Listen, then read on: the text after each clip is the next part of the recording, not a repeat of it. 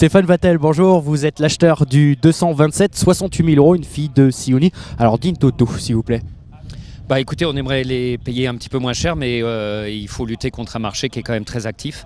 Euh, c'était, j'étais vraiment, enfin j'étais, c'était dans mes choix prioritaires avec euh, la fille de Louvre Rouge où j'étais sous-enchérisseur.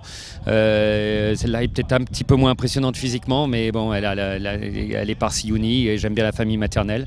Et j'étais content de pouvoir la, voir, mais j'ai fait ouf parce qu'on était, on était à nos limites.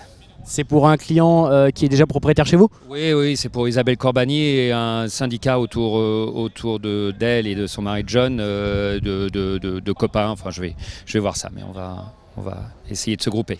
D'accord. Est-ce que c'est votre premier achat du jour et à Osarus, entre autres, pour les ventes de septembre de la test? J'étais venu l'année dernière et j'avais acheté une pouliche qui n'a pas débuté, mais que j'aime bien. et c'était mon premier achat, oui. Et dernière question, est-ce que vous avez déjà entraîné euh, un membre de cette famille du, 227 mm, Non, je crois pas. Je crois pas. Mais ça, ça me dérange pas. Je suis pas très fidèle aux chevaux que j'ai entraînés avant. Je, je m'en occupe pas vraiment. Merci Stéphane. Merci.